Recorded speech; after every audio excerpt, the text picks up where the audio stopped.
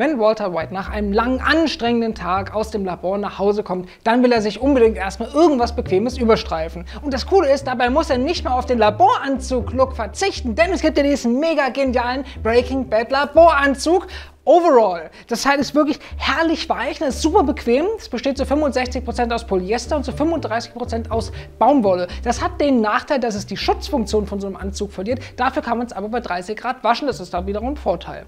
Ist wie gesagt ganz schlicht gehalten, ist eigentlich hauptsächlich gelb, wie sich das gehört. Nur oben links hier auf der Brust, da hat man das Serienlogo und das ist noch so ein nettes Detail am Rande. Wenn man die Kapuze aufsetzt, die ist im Stil von der Gasmaske aus der Serie gehalten. Eigentlich ziemlich cool. Und weil das so ist, könnte man jetzt hergehen und sagen, dass der Overall prinzipiell auch als Kostüm geeignet ist. Andere würden es vielleicht auch als Schlafanzug benutzen, ich weiß es nicht. Ich persönlich sehe es aber eher als bequemen Hausanzug für, weiß ich nicht, morgens beim Frühstück oder vielleicht auch abends, wie schon gesagt, beim Feierabend.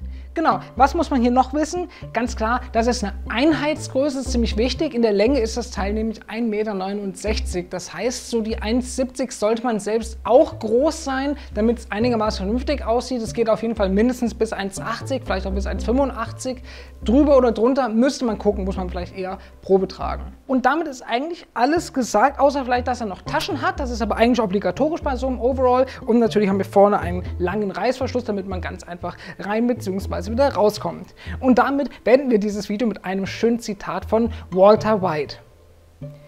Wir sind fertig, wenn ich sage, dass wir fertig sind.